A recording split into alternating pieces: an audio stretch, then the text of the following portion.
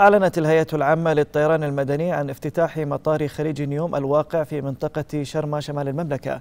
وأوضحت الهيئة في بيان صحفي لها أن المطار قد تم ترخيصه من قبلها كمطار تجاري وأصبح جاهزا لاستقبال الرحلات التجارية بدءا من الأسبوع المقبل بعد أن تم الانتهاء من أعمال تطوير المرحلة الأولى له.